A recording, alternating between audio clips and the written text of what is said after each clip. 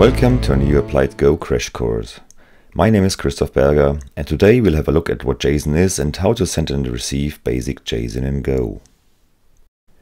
What is JSON? JSON is a standard data format for exchanging data over the net and between applications.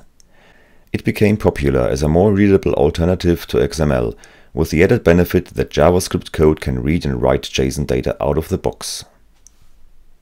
And almost any other popular programming language has at least one library for handling JSON data. JSON is a human-readable text format, which makes it suitable for configuration files as well. So how does JSON data look like? The syntax of JSON is almost like you would create a JavaScript object. This, by the way, is also where the name JSON comes from. It is an acronym for JavaScript Standard Object Notation. In its base form, JSON data is a list of name-value entities. As an example, let's create some weather information in JSON. Note that the names must be enclosed in double quotes. This is not a requirement for JavaScript, only for JSON. JSON knows some other data types besides strings. Numbers, booleans, null value, arrays and objects. Let's add some of these to our weather data. A numeric temperature, a boolean to tell whether the temperature is measured in Celsius or Fahrenheit, an array with a temperature forecast for the next three days,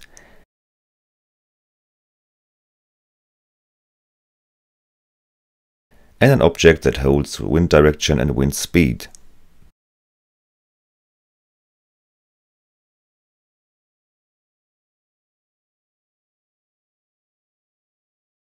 Some data types or special values cannot be expressed in JSON. Most notably, there is no date type. Any date value is converted to and from an ISO 8601 date string. Also, JavaScript special values, not a number, infinity and minus infinity, are simply turned into a null value.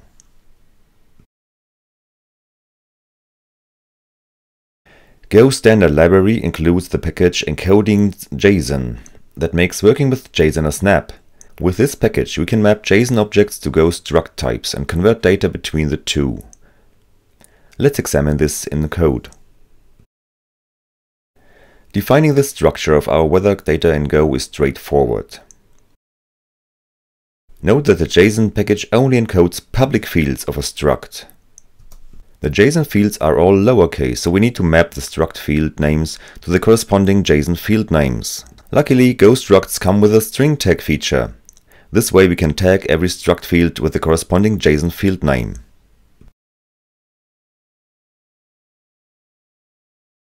Let's do this for all our struct fields.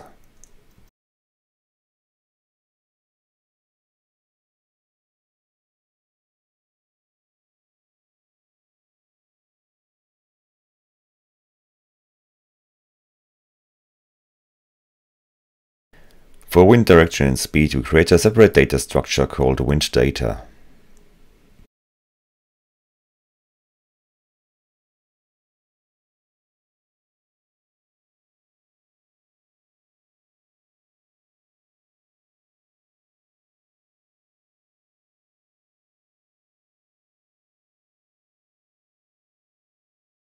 Here is a tip. Instead of typing the Go struct manually, have a script converted for you. Just go to mholt.github.io slash json minus 2 minus go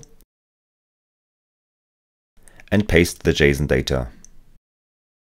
You instantly get an auto-generated Go structure from it.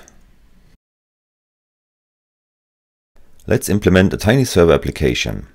The client sends its location and the server responds by sending weather data.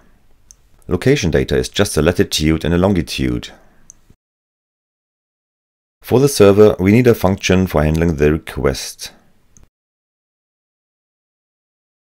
First, we need a location struct to receive the decoded data. The location data is inside the request body, which is an IO read closer, but we need a byte slice for unmarshalling. Read all from IOutil just comes in handy. Note that we use read all here for simplicity. Be careful when using read-all in larger projects, as reading large files can consume a lot of memory.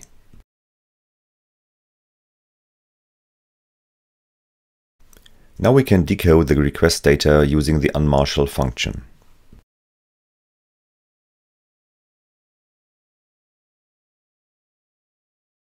If the request was correctly received, let's print it to the console. Now it's time to prepare our response by setting up a weather data structure. We could try fetching the data from our weather service, but for the purpose of demonstrating JSON handling, let's just use some mockup data.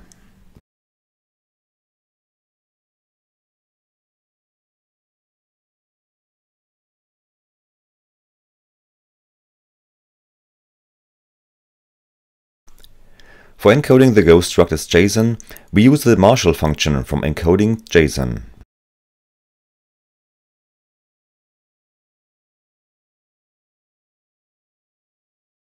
We send a JSON response, so we need to set the content type header accordingly.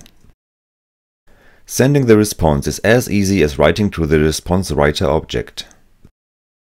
Thanks to Go's HTTP package, starting the server is a piece of cake.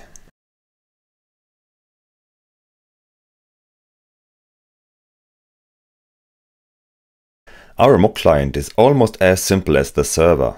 Again, we create JSON by marshalling a struct, in this case a log struct literal.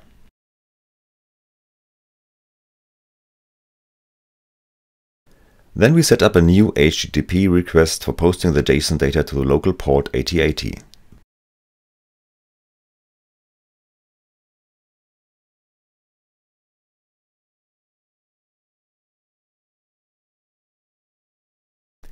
An HTTP client will send our HTTP request to the server and collect the response.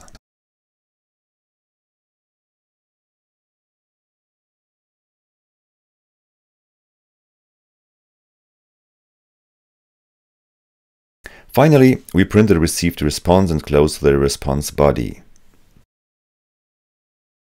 The main function is as easy as it can get. We start the server in a goroutine and then run the client. Now let's see how it works. On the command line we type go run json.go and we'll see the received location data as well as the response containing all the weather data. There's a bit more about JSON than fits into a short screencast. If you want to learn more about JSON, like decoding JSON data of an unknown structure, or how to implement stream encoding or decoding, the article JSON and Go from the official Go blog is a great place to start. The transcript for this video is available at appliedgo.net slash JSON, where you can also find the link to the source code as well as installation instructions. That's it for today. Thanks for watching and happy coding!